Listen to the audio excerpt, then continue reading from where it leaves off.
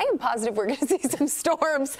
I don't know if that's such a good thing. hi, by the way, to Matt from the Weather Service. Everybody say hi because I love that guy. Yeah, he's going to be in at 7 a.m. this morning, and so he'll be issuing warnings and stuff when they come down the pike. He's Uh, watching it from home. He's watching from home because, like any weather person, you Any weather love geek. the weather. Yeah, that's exactly it. All right, we've got some wind out there that I am concerned about for later. That's one of my main threats for you, based on the fact that we're going to see probably a strong line of storms coming through, uh, and wind looks to be the main concern. Lightning, totally going to be an issue with this because there's quite a bit out across Iowa, and I expect that to transition eastward. Hail is a concern, but not nearly as much as wind, and then take it down to tornado potential as well. That chance is not as high either. There's just not enough spin in the atmosphere today. However, can never totally rule that out uh, when you have severe thunderstorms in the mix. Futurecast is going to show you what happens here. It looks like most of the most intense stuff is going to roll south of us. But if you're in the extreme southwestern portions of Chicagoland, you could very easily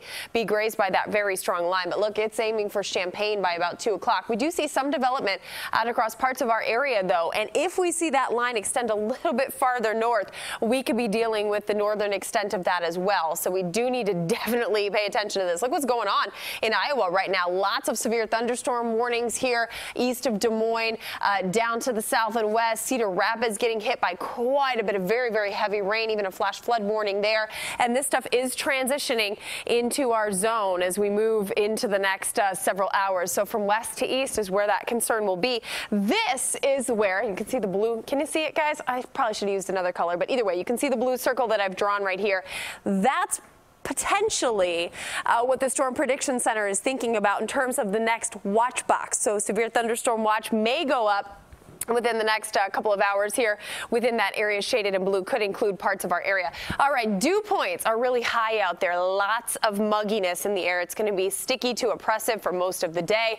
A lot of moisture for these storms to work with. So heavy rain is a possibility within this as well. In fact, I'll take a peek at what we're looking at in terms of the um, potential for rainfall coming up in just a bit. But know that once we get through today, Derek, it's looking good.